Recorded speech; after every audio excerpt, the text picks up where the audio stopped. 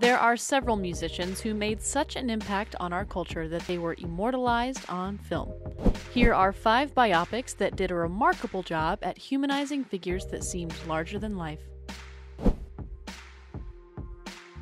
Rami Malek deservingly won an Oscar for his portrayal of the lead singer of Queen, Freddie Mercury, in the film Bohemian Rhapsody.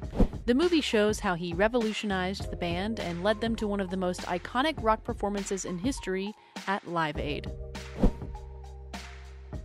Selena gave an intimate behind the scenes look at the rise of the Tejano superstar who was tragically killed at the young age of 23.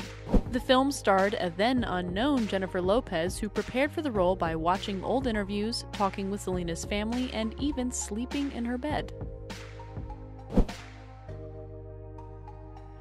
Rocketman shows the transformation of a young man named Reginald Dwight to a global superstar by the name of Elton John. Taron Egerton stars in the film that documents Elton's battle with addiction and his rise to stardom. Another film that gives a gritty look into an artist's battle with addiction is Walk the Line, telling the story of country legend Johnny Cash, played by Joaquin Phoenix.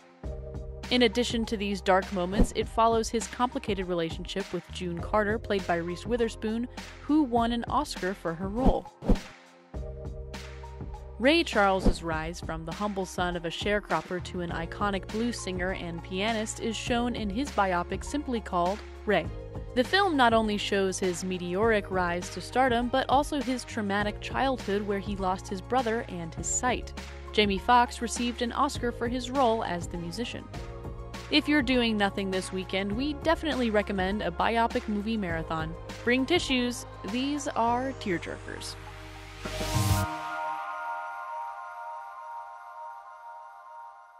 Thanks for watching. If you liked the video, make sure to like and subscribe and hit that bell for all notifications from radio.com. While you're at it, why don't you check out some of our other great videos?